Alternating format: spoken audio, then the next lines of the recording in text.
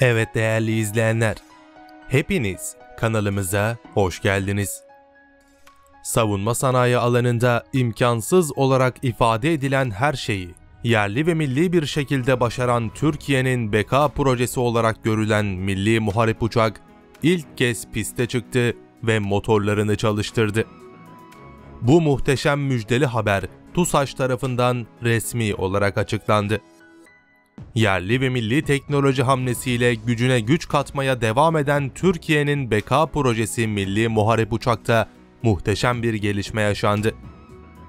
Motorlarının montajı tamamlanan Milli Muharip Uçak ilk kez piste çıkarıldı ve motorlarını kusursuz bir şekilde çalıştırdı.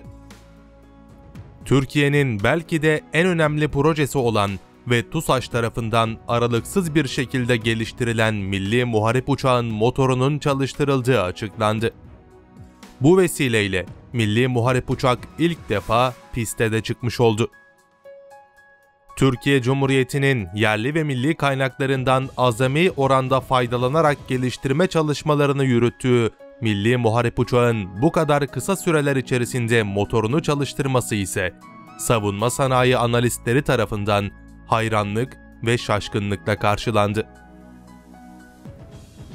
Türkiye'nin bu kadar kısa bir sürede böylesine gelişmiş 5. nesil bir teknolojiyi geliştirebiliyor olması Batı dünyasını resmen kendisine hayran bırakıyor.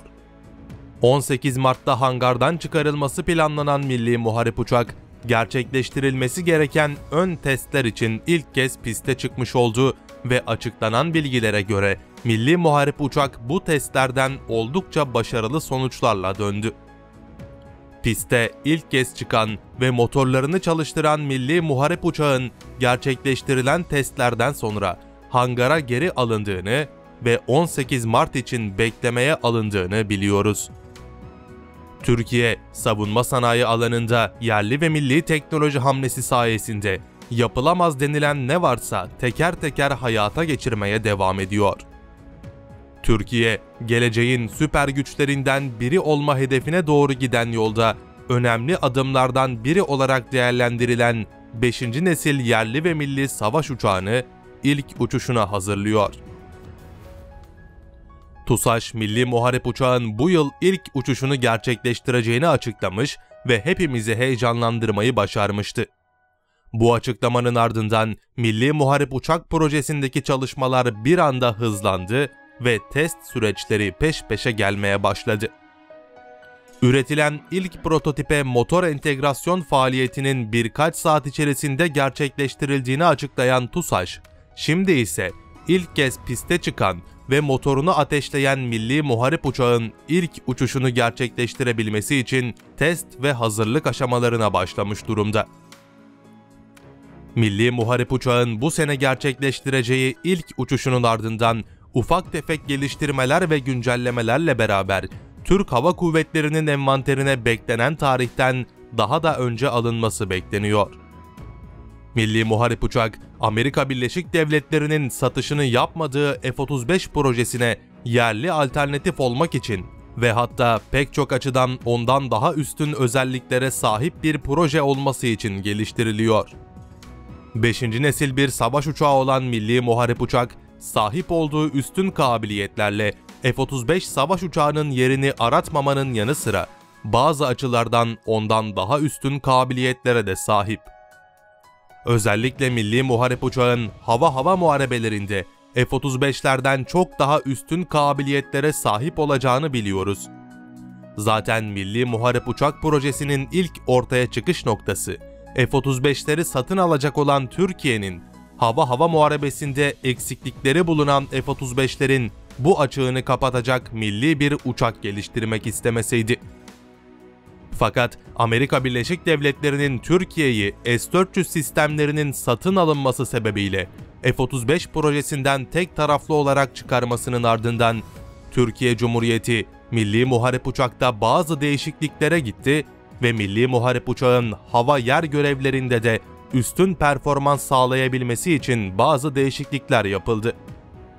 Bu değişiklikler sonucu Milli Muharip Uçak havacılık tarihine adını yazdıracak bir platform olmanın yanında hava yer bombardıman görevlerinde de üstün performans kriterlerini karşılayabilecek muhteşem bir platform olarak ön plana çıktı.